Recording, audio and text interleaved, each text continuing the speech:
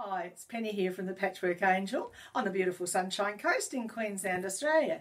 Today I want to talk to you about the Teflon applique mats that we use for when we're doing applique. Sort of like the little babushka dolls we've got here on this quilt. But today we're going to do the little angel that's on this pattern. This one's from Claire Turpin and it's called Angel Delight. And it's a little applique angel onto a cushion ready for your little angel for Christmas. So, first up what you have to do is take your pattern pieces out. And on the sheets, Claire already has them exploded. And we call this exploded when it means the parts are all separate. So what you have to do is trace off all your pattern pieces onto some adhesive web. We sell a great adhesive web. Another brand name for it is Fix. We don't actually use that one, but an adhesive web, any whatever you use is fine. So you're going to trace your pattern pieces off. You can use your Sewline pencil or any other lead pencil for that. So tracing off, don't get yourself in too much of a state with it. As long as it's pretty well the same shape, you're going to not get into trouble. Okay, so we'll trace those off. Once we've got them all traced off, we'll roughly cut them out.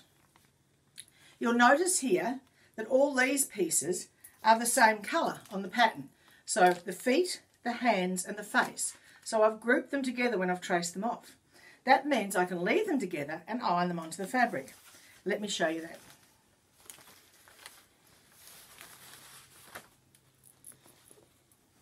So onto the back of your fabric. Now I'm going to stress the back of your fabric because I have had a few people who've ironed it onto the front of their fabric. With this fabric it wouldn't matter. But with one of these, we'd be in trouble. So we'll iron this on. And you'll notice it sticks. Now remember that's glue. So it can make a big mess with your iron. Okay. So what I'm going to do now is I'm going to iron all my pieces onto the back of my fabric. I'm going to cut them out exactly on the lines and I'll be back with you shortly. Okay, so here we are back again. So just to recap, we're making the little angel on the Angel Delight pattern. We've traced off our pattern pieces from our sheets that were exploded earlier onto an adhesive web, onto the paper side of the adhesive web. Okay, we've done that. We've then roughly cut them out of the adhesive web and ironed them onto the back of our fabric. The back of the fabric. We've then cut them out exactly. So we then cut them out exactly on the line. So this is one of our wings. We've cut it out on the line. There again, don't get yourself in a state. Here's a little tip about corners. Blanket stitch doesn't really like going on a pointy corner, so curve any pointy corners. You'll find it easier to stitch later. So now we whip out our lovely Teflon mat. And as you can see, mine's had lots and lots of use. To my knowledge, this is the same as what the chefs use for baking cookies on. I've never tried doing it, so don't, but I've felt them in the baking shops or in the kitchen shops, and they seem to be the same. So um, ours are a lot less expensive than the ones in the shops. So now what we're going to do, we're going to start putting our little girl together. So we start off by peeling the backing paper off our applique shapes. Now some people find this really, really hard, you watch today, I'll find it really hard too. Oh, there we go. So if you just sort of crease the edge, it just starts to come away. So we're going to pop that down on our applique mat. Right? We're now going to pop the head down on the applique mat. And there again, I'm trying to get a little crease just to start that peel away. If you find that the webbing is not attached to the back of the fabric, so the fabric should have a slight sheen to it, then go back and iron it a bit more. It just means it hasn't um, adhered properly. And don't try and peel it off when it's still warm. Make sure it's cool. Okay, so we're going to lay that there. And with this particular pattern that Claire's done, I'm just going to grab that pattern and, and look back at the picture again. You can see it's actually in reverse there. So I'm going to line that up and I'm just going to give that a quick little press with the iron. Now what you'll notice is that the fabric sticks to the Teflon mat and it sticks to each other but I can still I'm just going to get rid of that bit of rubbish, throw it in my bin. I can peel it off the mat. So now I've got this piece ready to applique. But I'll keep going and keep building my angel. So now let's put her fringe on. So that's this little bit here.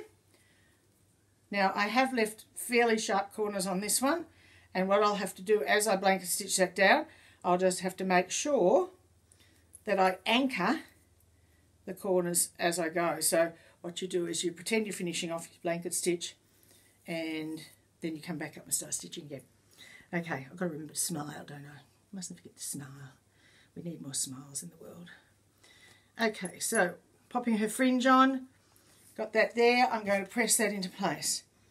Try to press rather than iron, because if you iron, sometimes they'll wrinkle up a little bit. Okay. All right, we've got a halo now. So on goes our halo. Can she get a piece? The other alternative is that you can score the back with a pin and some people show you that technique. Personally, I prefer this way, but if, if all else fails and the only way you can get it is with a pin, then go for that. Okay, looking back at my picture, the halo is behind her head. Obviously, it's an angel, the halo's up there. So we're going to pop that into place, making sure we've got enough of an overlap, and we're going to press that down. Okay, you can see where I'm going with this now. I'm going to keep putting her together, and I'm going to come back and show you how we send her onto the background fabric ready to stitch.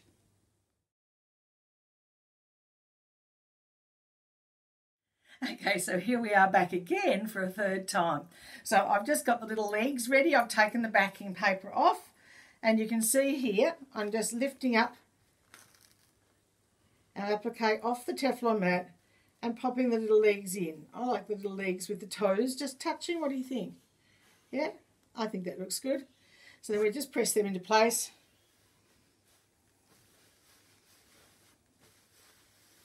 Okay, there are great, lots of great uses for your applique mat too. You know how sometimes you have a t-shirt that has a print on it and it gets sticky on the iron? You can pop this over the top or anything where you need an ironing cloth or you're a bit worried over the top of your embroideries and stitcheries, it can help too. So it's a really handy tool. They are available on our website and they're called an a applique mat on the website. So if you're searching it on the website, it's applique mat. Just before we pop this onto the background too, I just want to tell you a quick bit about this. The, this is one of the pick and mix patterns that Claire Turpin does. Have a look at the whole range of pick and mix patterns because what you can do is you can take an applique and then she has quilt patterns that you can incorporate it into. They work really well. That way you get to design your own quilt in your own colours, so it's a really individual thing. Have a look at those too. Anyway, I just want to show you how this now peels off the applique mat and goes onto our background. First thing we need to do is find the centre of our background fabric. I've just got a fat quarter here so I will just give it a quick little press that way, fold it the other way, line up the edges, quick little press. That gives us a, a pretty well, an approximate centre. I know I've still got a selvage on there that I'll trim off later, but that's fine because I'll probably trim the whole block down later. You find too, once when you blanket stitch and applique, that the um, actual background gets smaller too because of the stitching you do. Okay, so we're peeling her off. Here she comes.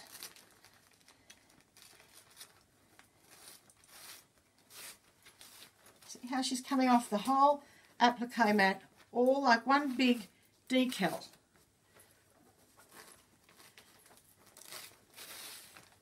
See, coming to, there they come. We're going to centre her onto our background. Going to make sure she's out nice and straight. See that bit just tucked down? We're going to open that up.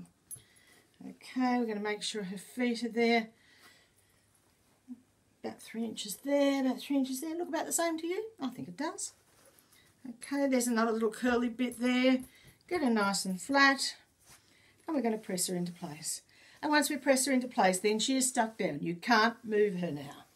Okay? So you're going to then start doing your blanket stitch. So getting her all pressed into place. As you work doing your blanket stitch, you will find she'll lift a little bit and you may need to go back to the iron and just touch up some spots where you're stitching. But that's okay too. It's because you're wrinkling it in your hands. My goodness, I think she looks so cute. I'm really pleased with her. What do you think? Doesn't she look gorgeous? Okay, so I'm going to now go and put on a good movie and sit down and do some lovely blanket stitching, which I really enjoy doing. I love the rhythm of it. I'll be using two strands of DMC thread or cottage garden thread.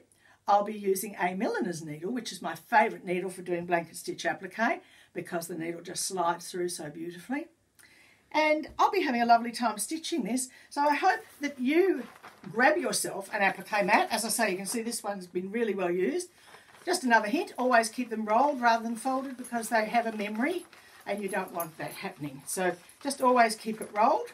We always have them in the classroom at the shop um, because our students often leave theirs at home and uh, they are such a handy tool to have. So make sure you grab one of these for doing blanket stitch applique. Have a look at the Claire Turpin's pick and mix patterns because they really are fun. There's lots of lovely patterns there. Now I just want to mention to you too, while I've been doing this, our rescue dog Sarge has been in the room with me. So if you heard some funny noises, it wasn't me. It was Sarge. Who's looking very relaxed there on the floor. So um, we're having a lovely time with Sarge. He's our new rescue dog, so we're really happy with him. So as I say, get stitching, have fun with some applique, start perhaps some Christmas projects now. Never too early. Okay, so that's me, Penny from the Patchwork Angel on the Sunshine Coast in Queensland and I will get back to you soon. Don't forget to subscribe to our channel, follow us on Facebook, follow us on Instagram, give us the little thumbs up on the subscription thing on YouTube, all that stuff, okay, and keep on stitching.